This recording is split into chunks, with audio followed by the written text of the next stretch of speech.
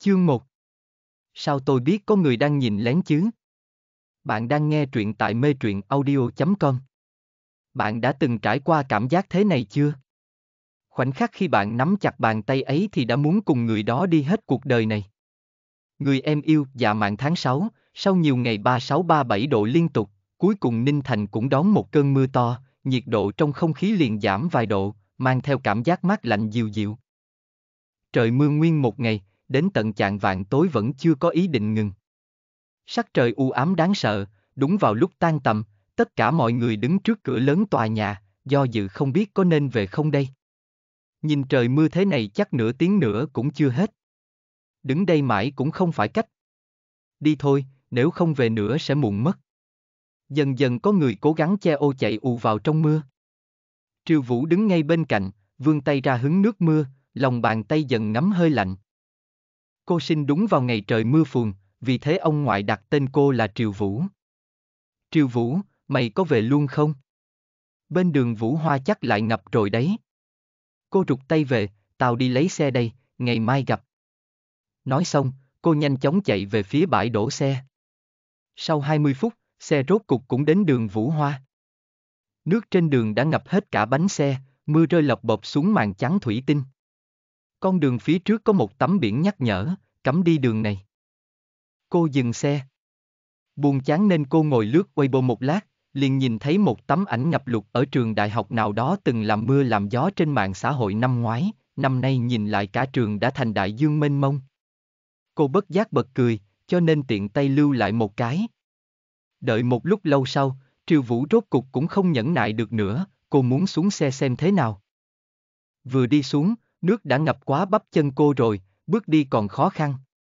Bên ngoài có bảy tám người đàn ông mặc đồng phục màu da cam đang chạy ngược chạy xuôi, có mấy người đứng bên máy bơm nước cũng đang làm việc rất khẩn trương. Xem ra là cống thoát nước đang tắt.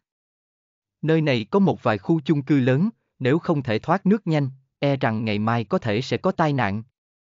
Triều Vũ bước lên trước vài bước, có ý định chụp mấy tấm hình, về làm tư liệu cho bài viết. Lúc này đột nhiên có một giọng trầm lạnh lùng vang lên. Những người không liên quan lập tức rời khỏi đây. Chất giọng ấy vừa trầm lại khá cứng rắn. Tay Triều Vũ khẽ run, cô nhìn về phía người vừa lên tiếng, ánh mắt dừng lại ở bóng lưng của một người đàn ông. Người đàn ông kia đang cố gắng kéo chiếc máy bơm rất nặng, cống thoát nước đang tắt, từ giật và tôi xuống dưới, gấu lớn cậu ở trên này tiếp ứng. Những người khác tiếp tục làm việc. Từng chữ rõ ràng mạnh mẽ, anh bình tĩnh phân công nhiệm vụ cho mỗi người. Mưa tí tách rơi không ngừng, bóng đêm mờ mịt, trong bầu không khí nặng nề xen lẫn hơi ẩm nặng mùi.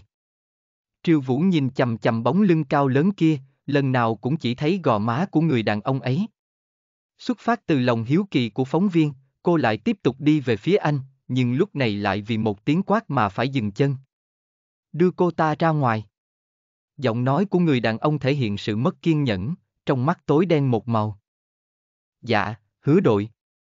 Một người đàn ông cao gầy lội nước đi về phía cô. Người đẹp, nơi đây rất nguy hiểm, mau về đi thôi. Triều Vũ ngẩn người, từ lúc cô thực tập đến giờ đã từng đi rất nhiều nơi có tình huống còn nguy hiểm hơn thế này, cô lôi thẻ nhân viên ra đưa cho anh ta. Tôi là phóng viên tới từ báo ít, cứ thế này thì bao giờ nước mới rút hết. Chúng tôi đang cố gắng khắc phục rồi, sẽ nhanh thôi. Mỗi năm cứ trời mưa là đường Vũ Hoa sẽ ngập, không phải năm ngoái Cục Thủy Lợi đã thông báo nơi này sẽ được cải tạo đó sao? Xa xa liền truyền đến chất giọng lạnh lùng như muốn đóng băng người ta của tên kia. Từ giật, đưa cô ta đi. Triều Vũ quả thực không tin nổi vào tai mình. Cách một khoảng cách không xa cũng chẳng gần, cô dõi theo bóng lưng thẳng của anh, toàn thân người đàn ông kia tản ra một khí thế khiến người ta sợ hãi, tính cách có vẻ cũng khá nóng tính. Triều Vũ bị đuổi đi. Vào đến trong xe, trong lòng cô thấp thỏm. Ngồi chờ một tiếng rồi, mực nước đã giảm xuống 4 cm. Mỗi khi trời mưa Ninh Thành luôn bị ngập lụt, đây là thiên tai hay do nhân họa, một, một người gây họa càng nghĩ càng bực mình, cuối cùng cô lên ủy bộ đăng một status mới.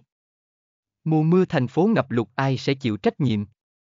Hàng năm chúng ta đều thực hiện các biện pháp phòng lụt, tại sao ống nước ngầm dưới lòng đất của thành phố luôn xảy ra vấn đề, mấy năm nay vẫn chưa xử lý xong? Kế hoạch của Cục Thủy lợi đã được tiến hành thực sự chưa? Những bộ ngành liên quan khác đang làm gì? Hay biện pháp cuối cùng là đẩy hết vấn đề sang cho Cục Thủy Lợi? Viết xong thì chèn thêm một tấm ảnh đường Vũ Hoa bị ngập nước rồi mới click đăng. Triều Vũ tốt nghiệp tại một trường văn hóa lớn của Ninh Thành, trong lúc học đại học, cô đã lập một fanpage trên Weibo, thỉnh thoảng cũng đăng vài tin tức về Ninh Thành, từ những chỗ ăn được chơi được, sang những vấn đề nhức nhối của xã hội, hiện nay trang đã có hơn 60.000 lượt thích rồi. Status này đăng chưa được bao lâu thì đã nhận được rất nhiều bình luận nêu quan điểm, chia sẻ cảm giác và tức giận với vấn nạn trên của thành phố, cả đám người nhao nhao mắng các bộ ngành liên quan bất tài không làm được gì, đồng loạt yêu cầu các bộ xin lỗi người dân. Đêm đó status này đạt hơn 5.000 lượt xe, Mà sau khi về nhà Triệu Vũ đi tắm luôn, không lướt bộ nên cũng chẳng biết tình hình mọi chuyện. Đêm khuya thanh tĩnh, mạch nước ngầm ở đường Vũ Hoa cuối cùng cũng được thông, nước từ từ rút xuống. Hứa đội, đi uống một chén nhé. Hứa bác diễn lau chút nước còn vương trên mặt, anh nhướng mày, tháo vẻ nghiêm túc nãy giờ. Không, tôi về trước. Anh cởi chiếc áo đồng phục dính đầy nước buồn, bên trong là chiếc áo rắn, lưng áo đã ướt đẫm, áo dán chặt vào người, cơ bắp nổi lên cuồn cuồn. Tiện tay anh vắt áo qua vai, bước chân kiên định, đi về phía chiếc xe Việt giả ở phía xa. Đêm, không gian im ắng, mưa cũng nhỏ dần. Sáng hôm sau, Triều Vũ không bị đánh thức bởi tiếng chuông đồng hồ, mà từ một cuộc gọi thông báo của trưởng phòng. Cô còn tưởng ở đâu có tin mới, nên vội vã nhận điện thoại. Sếp cao, Triều Vũ, tối qua cô đăng gì lên Weibo hả? Triều Vũ vẽ mặt mơ màng. Cục Thủy Lợi vừa gọi điện cho tôi. Cô cô cô.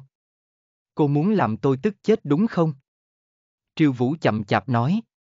Sếp, em có viết sai gì đâu. Cô còn không biết giờ là lúc nào à, mau xóa cái bài đó ngay cho tôi. Sáng sớm trang web của thành phố bị đánh sập, đâu đâu cũng tố cáo cục thủy lợi. Đó là vì bọn họ không làm đến nơi đến chốn. Mau xóa bài đó cho tôi, đăng cái gì lên cũng không nghĩ cho kỹ. Đã thế còn để lộ dấu vết. Cô có biết anh ta là ai không? Lại dám đăng ảnh anh ta lên mạng. Sếp cô càng nói càng tức. Tiểu cô nương rất có chí khí, liền là một cây gân qua đầu. Dù sao cũng không phải ngô ngạn tổ.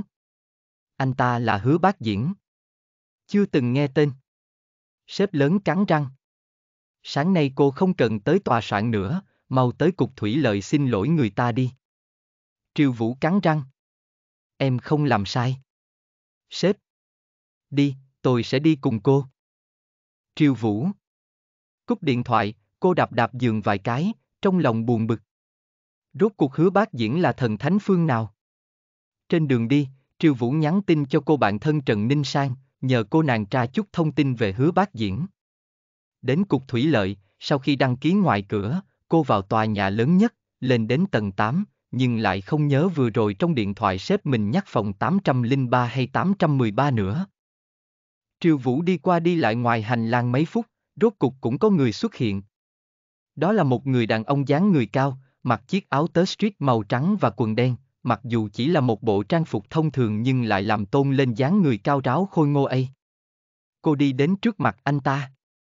Chào anh, thật ngại quá, xin hỏi phòng làm việc của anh hứa bác diễn là 803 hay 813? Người đàn ông này có đôi mắt khá sắc sảo, trên gương mặt tràn đầy vẻ khí khái. Người đàn ông dừng chân, đưa mắt về phía cô nhìn mấy giây. Hành lang trở nên im ắng, trong không khí còn có mùi cỏ xanh phả lên thoang thoảng sau cơn mưa. Cô tìm anh ta à? Giọng anh có chút khang khang. Triều Vũ gật đầu liên tục, người đàn ông trước mặt cao hơn cô nửa cái đầu, đầu để kiểu húi cua, làn da màu lúa mạch, đôi mắt một mí, toàn thân toát ra vẻ đầy sức sống, khi nhìn cô thì có cảm giác không nói được thành lời. Triều Vũ công miệng nở nụ cười bất đắc dĩ. Tôi tìm anh ta có chút việc. Người đàn ông kia cũng không hỏi thêm gì nữa, mà nhấc chân đi về phía trước. Triều Vũ đuổi theo anh. Anh ta chưa tới à, người đàn ông kia chỉ mím môi. Triều Vũ thở dài một hơi. Tôi tới xin lỗi anh ta. Xin lỗi. Người đàn ông lặp lại hai chữ ấy, anh khẽ nhướng mày, ánh mắt lại chuyển về phía Triều Vũ lần nữa, trong đôi mắt trắng đen rõ ràng kia cho thấy cô có vẻ không cam lòng cho lắm. Sếp tôi bảo tôi tới. Tối qua tôi có đăng một bài viết trên Weibo, thời đại nào rồi mà không cho người ta tự do ngôn luận. Anh nói xem tôi có oan không? Nhất định là cái tên hứa bác diễn hẹp hòi đó đã gọi điện cho sếp tôi. Sếp tôi nói, nếu như tôi không đến xin lỗi thì sẽ trừ hết tiền thưởng tháng này. Là vậy à? Có gì đó khẽ lóe lên trong mắt anh. Triều Vũ gật đầu liên tục không ngừng. Tối qua đường Vũ Hoa bị ngập, lúc đó anh ta cũng ở hiện trường. Tôi định chụp mấy tấm thì bị anh ta quát không cho chụp. Anh nói xem sao hứa bác diễn lại nhỏ mọn thế chứ. Người đàn ông miễn cưỡng công khóe miệng, không nặng không nhẹ ừ một tiếng, coi như là đáp lại lời cô. Triều Vũ nhìn bốn phía, lẩm bẩm. Không biết anh ta đến chưa nhỉ? Người đàn ông kia hắn giọng một cái, đứng trước mặt cô, khẽ cười với cô. Tôi chính là hứa bác diễn. Triều Vũ câm nín. Hứa bác diễn mắt nhìn thẳng mặt cô, gương mặt giãn ra. Hôm nay anh mới đến được nửa tiếng, không ngờ sáng sớm đã có chuyện bất ngờ thế này. Nhìn dáng vẻ lúng túng, gương mặt đỏ rực, hai tay nắm thành quả đấm của cô nàng kia, khác hoàn toàn với cô gái nói liến thoáng nãy giờ. Hai người im lặng mà nhìn đối phương. Sau mấy giây chần chừ, rốt cục Triều Vũ cũng khôi phục lại lý trí, cô cắn môi một cái, giọng nói dịu đi mấy phần. Hứa đội, tôi tới nói xin lỗi.